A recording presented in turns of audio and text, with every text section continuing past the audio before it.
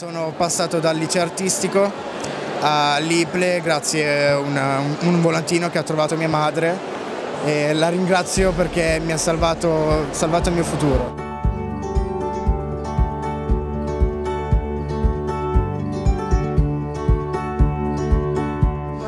Solo fare dei progetti quando si può anche imparare come si può fare una cosa?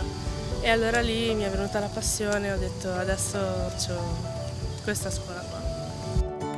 Grazie ai laboratori IPLE dove ho lavorato e a questo periodo di stage ho, sto mettendo in pratica quello che ho imparato e sto realizzando il mio sogno.